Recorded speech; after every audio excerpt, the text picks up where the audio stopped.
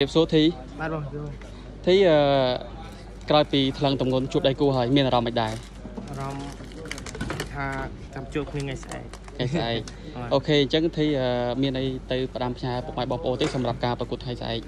បាទថ្ងៃស្អែកចូលរួមទស្សនាឲ្យបានចាំច្រើនបាទនៅស្ថានីយ៍ទូរទស្សន៍ PNN បាទខ្ញុំនឹងខំប្រឹងសងសឹកឲ្យបានបាទបាទ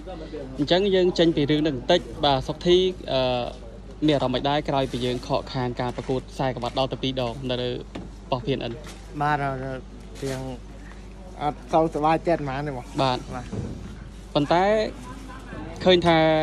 ធីមានឈ្មោះដណ្ដើមរថយន្តបាទមានការតាំងចិត្តបែបណាដែរក្នុងការដណ្ដើមរថយន្តមួយនេះហើយបេក្ខភាពយើងឃើញថា7នាក់ទៀតមិនដែរមិនពិលនេះទេមានល្អច្រើនបងបាទល្អច្រើន3 4នេះអស់បាទចុះសុធីឃើញថាអឺមានដំណឹងល្អ ក្នុងការអឺបានបុតសម្រាលសម្រាលនៅថ្ងៃណាដែរដល់ដើមខែបងដើដើមមខែខែដល់អញ្ចឹងគាត់ថាបើសិនជាយើងឈ្នះបានរថយន្តបាទជាជាជាកាដូធំទេសម្រាប់ជីវិតអ្នកបដាលរបស់យើងបាទបងជាកាដូធំដែរបងដោយសារកូនពីរបងបាទបាទបាទអឺក្រោយពីមានឈ្មោះអឺភរិយាគាត់មានការលើកទឹកចិត្តទេក្នុងការមានឈ្មោះដណ្ដើមរថយន្តគាត់គាត់គាត់ថា អត់រំលោកគាត់អត់ថាកុំឲ្យសោរំពឹងច្រើនដល់ពេលយើងខកបំណងមកយើងមិនបាច់ខូចចិត្តច្រើនអញ្ចឹងហ្មងបាទបាទ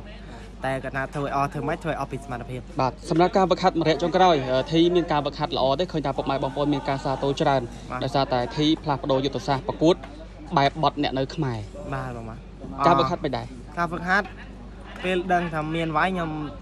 លែងហ្វឹកហាត់ដែរបងបាទបាទឃើញថាពេលដែលយើងផ្លាស់ប្ដូរអឺស្នៀតប្រកួត ខុសពីនៅថៃចឹងមានមានមានផលពិបាកទេក៏មានប្របាកបន្តិចតួចបងបាដោយទសារទម្លាប់យើងទម្លាប់វាយវាយក្បាច់ហ៎បងបាទទម្លាប់វាយថយវាយចាំវាយក្បាច់គិតច្រើនយើងវាយយកតែបន្ទុកហ៎បងបាទបាទរៀងប្របាកបន្តិចតួចដែរគិតមកទល់ពេលនេះយើងអឺសមរបៀបវាយបែបអ្នកនៅខ្មែរបានប៉ុន្មានភាគរយហើយទៅបាន10% 20%ហ៎បងអូនៅយើងនៅច្រើនទៀតទេបាទបើមិនជាយើងហាត់ បែបបត់បែបអឺអ្នកវាយនៅខ្មែរយើងអាចនឹងល្អជាងនេះបាទបងបាទបាទអូខេធីអញ្ចឹងអឺជូនពរឲ្យសំណាងល្អសម្រាប់ការប្រកួតថ្ងៃស្អែកជូនពរឲ្យធីអឺទទួលបានជោគជ័យសម្រាប់ការប្រកួតដណ្ដើមរថយន្តនៅថ្ងៃខាងមុខបាទបងបាទអរគុណធីអរគុណប